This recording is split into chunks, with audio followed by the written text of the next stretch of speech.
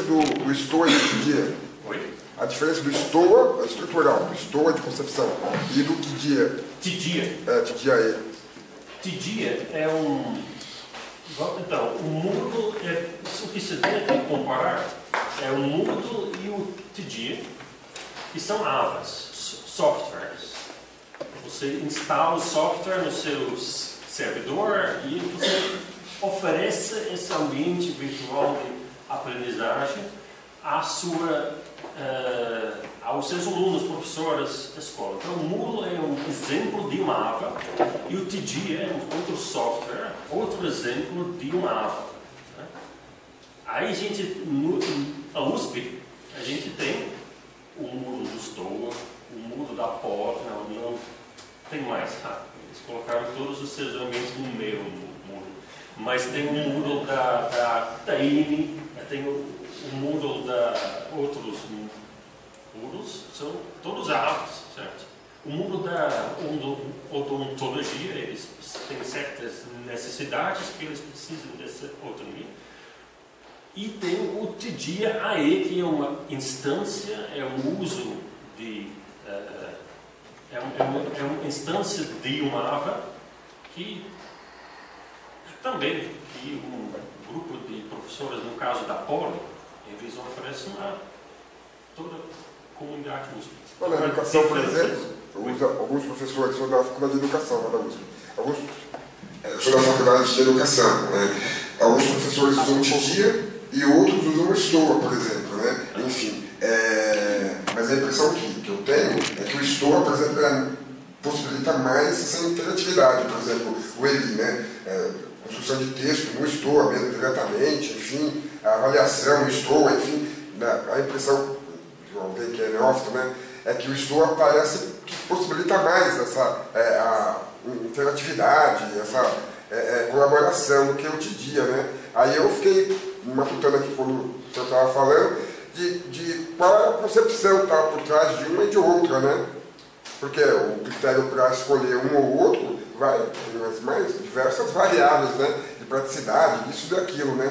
É, o, talvez num determinada maneira, visão de como implementar tecnologias, você teria uma pesquisa, um, uma, uma levantamento das funcionalidades, de, aí você escolhe um, entendeu? Mas como eu falei, a USP é aquela coisa federada e essas escolhas são muitas, feitas, muitas vezes feitas de outras formas e meio ao, caso, entendeu? O TDIA veio de um projeto de pesquisa da FAPESP que foi, foi eh, de 2006 até 2010, eu acho, e foi um produto desta pesquisa, assim ficou implementado. Eh, e o Moodle do Stoa veio meio de carona hum, nessa. É, veio, veio, veio ju- junto com o curso de licenciatura em, em ci- ciências e o fato que foi criada uma equipe que tinha a capacidade. Eu acho que no caso de uma instituição como a USP é mais do que apropriado de ter várias possibilidades, vários avas, mas eu reconheço também a confusão que dá. Eu vi uma vez eh, um- um- indicações para um aluno da Poli de apoios de ambiente a cada uma das suas seis disciplinas. Eu tinha seis ambientes de apoio diferentes. Uma disciplina usava o Moodle do Store, outro TG, outro um, um lugar no Facebook, outro uma página web, entendeu?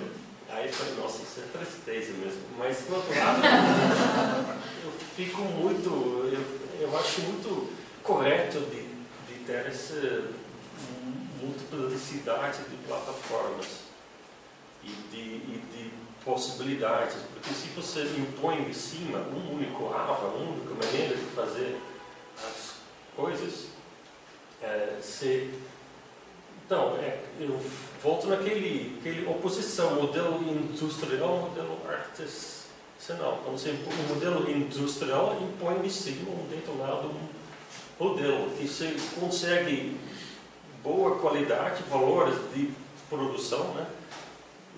mas por outro lado você tira autonomia de experimentação.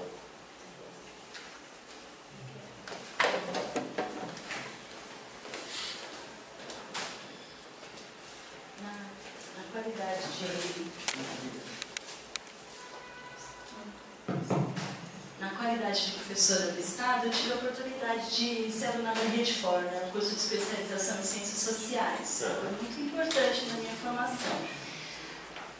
A avaliação que eu faço em relação a esses ambientes de aprendizagem e formação de professores, né, existe uma certa dificuldade em relação a, a, aos processos de colaboração. Eu acho que um problema de, desses ambientes né, de formação para professores é a questão, os processos é, que se colocam no AVA para a colaboração.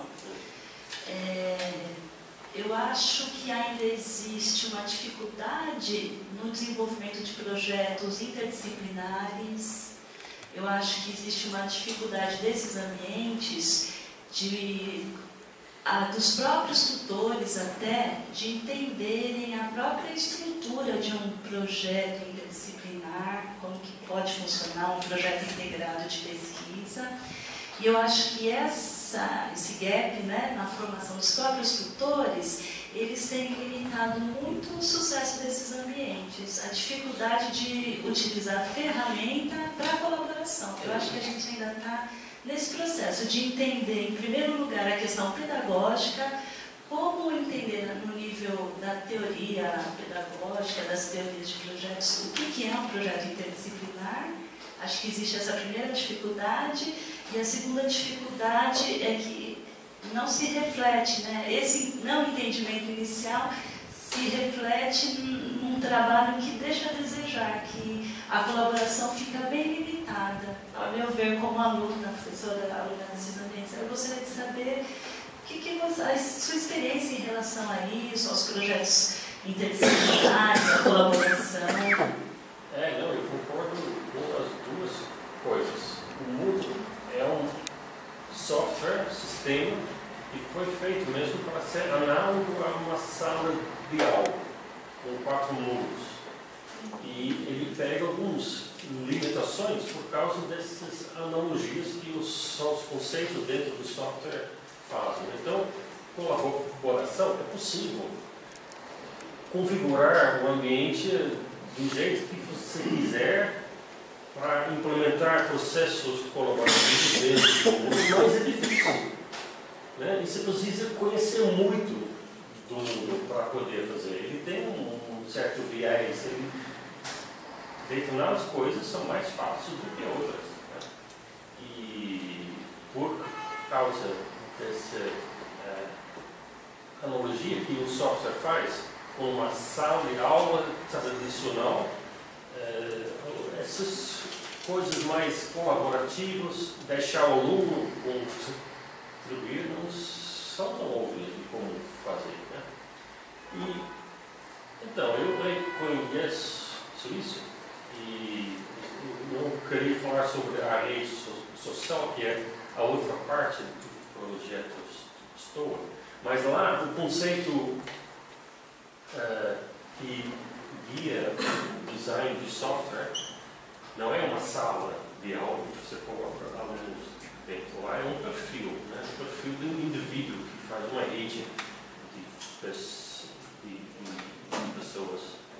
E lá seria muito mais óbvio, mais fácil de implementar essas coisas é, colaborativas, ou como você fala depois, de integrar grupos de áreas diferentes. Mas o que, que eu vejo numa universidade como os, a não sei se o critério da popularidade, né? Talvez não é mais adequado, mas o mundo do Stowe fez sucesso. O rede social está sendo usado, mas não fez, não viu o mesmo tipo de uso. E o fato é que na situação que estamos agora, o engajamento dos alunos enviam os professores. Então, o Moodle é, é, é, legal o software porque ele entra na cabeça dos professores, é próximo à experiência deles, porque é análogo a uma sala de aula. Então, o é, é legal para aquela. Olha, o título da minha apresentação até faz sentido, né? Educação em transição. O, o, o Moodle é um, é um passo pequeno para de, no, no diz respeito à tecnologia em sala de aula. Uh, e o rede social é uma, um maior e é mais difícil para professores entender, não necessariamente para alunos. Mas como o Abdo muito bem lembrou, quando ele me ofuscou no início, é, esse, esse, a gente tem que fazer esse passo grande. Né? É. Mas eu vejo o meu trabalho como Store como na direção de José Tecnologia Gonçalves. Irmão.